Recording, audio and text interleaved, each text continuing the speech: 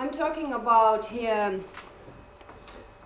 today that what I do before I start uh, even writing the script.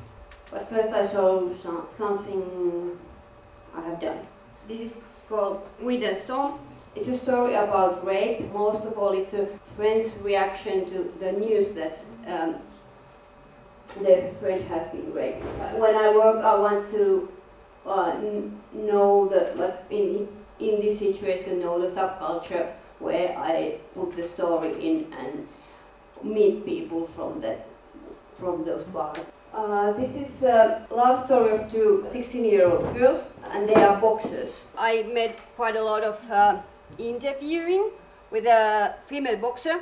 I was asking about the rules of the boxing match, how they decide there who's the winner, and also I went to see the uh, young girls boxing match because I wanted to, to also to be that it's realistic. If you make something, draw realistic style, it, um, everyone notices the boxing gloves are just like something balls in the uh, I wanted to like learn everything uh, about the clubs and uh, how is the boxing ring built. This is uh, about using some actual information like facts in the comics and I use that uh, quite much. This is a about the story about Finland. There's a text that um, uh, two thirds of the whole land is forest, and it starts from the backyard uh, of the uh, houses. This if, there's just the information that there's so much uh, forest in Finland, but I, I wanted to use a fact like really it's really just a fact, but then uh, same time it says a lot about the country and also, and I wanted to put the feeling, uh, what it is to me in the picture, uh, but only the, in the text there's only the fact. This in the, this picture is about uh, the seasons, how do people try to uh, cope with the with the changing seasons, but the animals do it better. And this is when the spring, it's the first day of spring. And you have here quite a uh, dark and long winter too, so this feeling, what it feels like when the spring comes, people go crazy. and I also wanted to show the feeling when you see the first time these birds in the springtime. And actually she's crying because she's so happy to hear those birds also here the colors are wrong, but I uh, use the same technique that I tell about the place I live, a picture of the place I live, and here says only the name of the place, Hervanta, 25,000 inhabitants, uh, 76 nationalities. So then you know what, you might have an idea what kind of place it is. I don't have to show it that uh, I like try to make it shorter with the text, but still the reader has idea what kind of place it is. For the short stories like this, some of these, uh, I like to like do some research to get into the mood or into the time or place. And I use a lot of my own experience too uh, I feel that uh, on the most of the situations, I am the good expert for my life. mm. And I use a lot of my own emotions to, if I have a strong feeling about something, I'm angry, I'm really happy, I'm really proud of something, uh, I, for me, the way to deal with the feeling is to make a story about it like someone else uh, makes a song or someone writes the book, I do a story about it. The latest work I have done this, uh, this year actually is the book about my hometown, Tampere in Finland.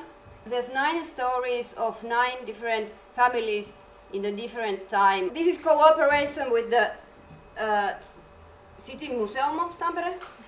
Uh, here I am actually already drawing the comic, but before that there was a lot of, uh, I, I was reading a lot about these times in history, talking with the people from the museum, asking about how was life in different times.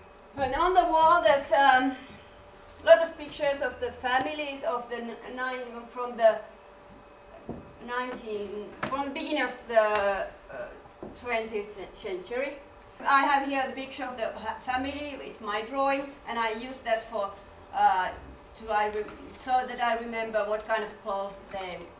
So I have in every picture the same clothes, and then pictures are from the collection from the museum photograph. This is also on the wall, the script and the picture from the some uh, houses.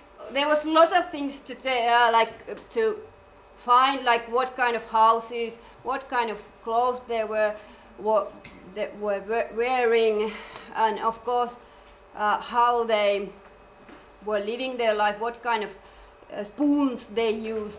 This is from the museum, and it was a picture from the wartime, and I've used the same like building here. I think in works like this, it's easier to have a lot of pictures than trying to uh, just imagine yourself. Uh, here, these are actually from the museum. They had these silver, and I had them here on the table. So I didn't have to imagine what kind of coffee cups they have.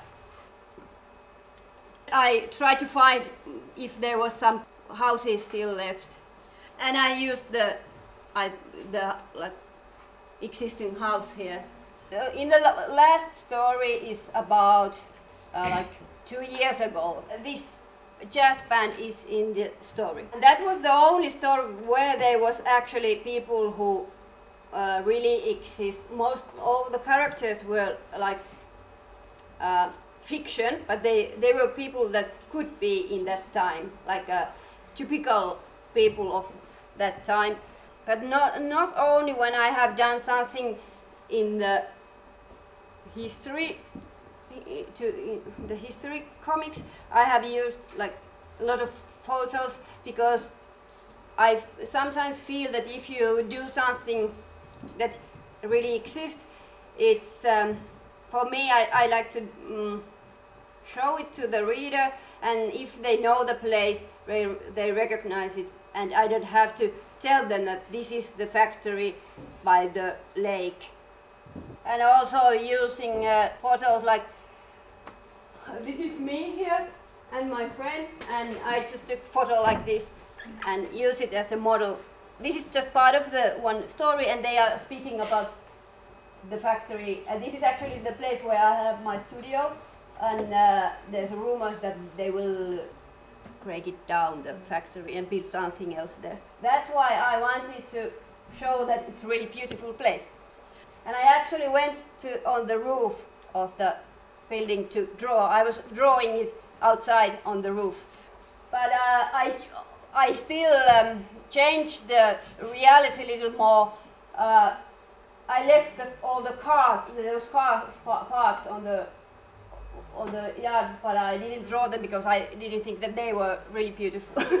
this is just an example uh, how I like to work. This is a story, and it's. Uh, I was uh, traveling in Ireland, in Galway, and I, I am. Uh, but this is where I made this after, afterwards, and I wanted to have this bridge in the comic, and I didn't have any pictures.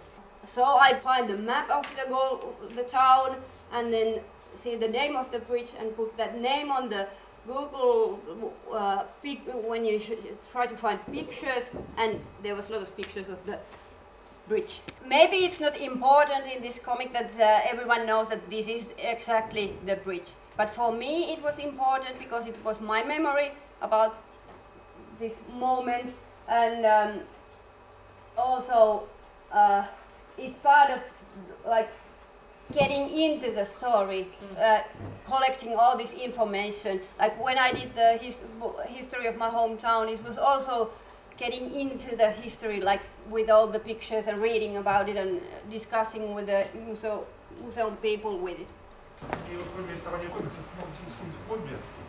Do you have any other hobby besides drawing comics? Uh, no, I don't have even time to go boxing anymore. yeah, actually, I have. I'm doing um, carpentry. It's fun because I can do something like useful and use big tools, not with a small pen. А скажите, какие еще социальные проблемные темы, может быть, вам было бы интересно сделать сюжетами таких комиксов? I, I'm working on the story uh, about the old house in in Tampere, but also the way people were living earlier uh, was more people were more together. Like the house was like a small village, but now people don't like neighbors don't know each other. There's a lot of loneliness in Finland, a lot of uh, mental uh, illness, and a lot of alcoholism, and uh, a lot of suicides. And I feel the one thing is also also that uh, people are really lonely, and no, nobody even noticed if you Uh, yeah, if something happens and your no- neighbor doesn't even know in a week. But I'm still just interviewing all, all people, old people, and uh, people who have been living in this one house, which was um, more like a commune. Yes, and al- also reading about loneliness in the society. Спасибо.